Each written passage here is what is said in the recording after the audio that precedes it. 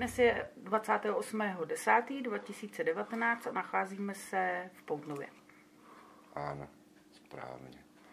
Už jsme tady u přátel, kteří už delší dobu nás žádali o pomoc, protože se jim tady něco děje, ale jim s nikým jiným o tom mluvit nechtějí. Ale dali souhlas, že můžeme natáčet na kameru tak a dělat si zápisky. No, já bych začal, tak jsme ve starém baráku, že jo? Ten hodně starý tady. To byl dřív taky statek nějaký, Statek, no. Židí ho prý měli. měli ho židé. Co víme z minula, když jsme tady byli prvně, tak tady byla paní Anna A Emilie. a Emílie.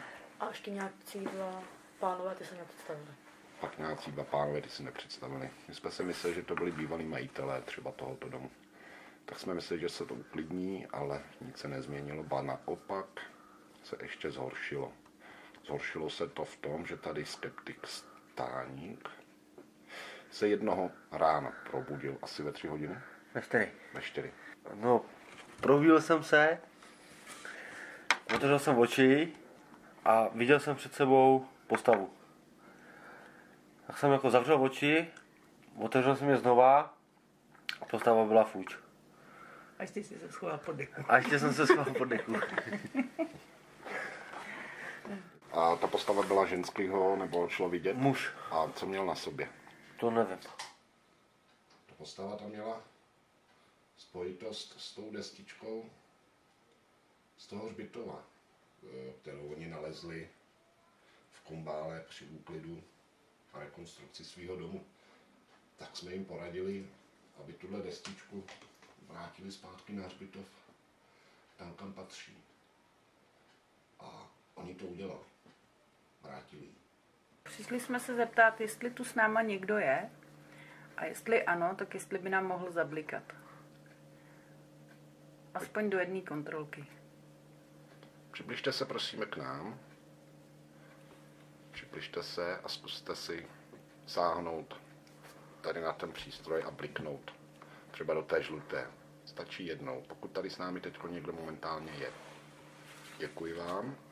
Do zelené, do žluté, ano, děkuji. Dobře. Děkujeme. Děkujeme. E, Nějaký jiný e, zážitky, co se vám tady staly doma a nevím, spouštění věcí, padání věcí z, ze spoličky, ze skříněk, nebo záhadní zvuky, Mm, Hodně nám padají třeba v koupelně. Šampóny. Šampóny a prostě to, co je jakoby tak daný, aby to nespadlo, tak to prostě spadne. Začínáme prostě tady jako hrát hračky sami od sebe. Boty nám tady blikají, ani prostě se jich někdo to začnou blikat boty, pak se zase vypnou, pak se zase zapnou. se na to můžeme podívat, to je třeba i technického původu, původu jako že tam je chyba, já nevím, baterky, že můžou docházet, tak se... No, a takový Jo. hodně skýsněný pocit, jakoby, když projdu hlavně večer jakoby, takým barákem, tak prostě mám takový, jako, že jsem sledovaná a já se necítím se bezpečí. Jo, to si cítíš jako, že Ty- něco ty- je. A kolikrát už to mám já, mám takový pocit, že Teď už jakoby, to máš i ty, Jo. ten pocit. Kolikrát mám takový pocit, jakoby, že mě obejmeš a hrozně mě stiskne, že se nemůžu kolikrát nadechnout takový, jako, takový panický ten až. Potom třeba nějaký zápachy, nebo Jo, takový jakoby smradlavý ten. Vždycky jsem chodila a čuchala jsem, co tady smrdí. Odpady. To si říkala i ty? Ne, ne, ne, já jsem cítila spíš jako něco, jako něco mezi tím, co ti hníje. Vysvětlý maso. Jo, něco Já jsem mi takového. to hodně, hodně říkala. A furt prostě, že tady prostě něco smrdí. Pak jsem to kolikrát cítila i já a hlavně jako by, když jsem procházela z obejváku do kuchyně.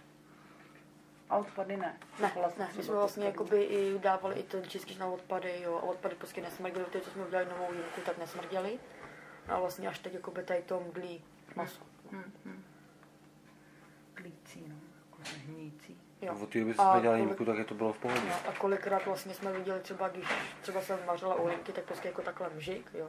Tak jsem se otočila, nikde nic, pak třeba na druhé straně.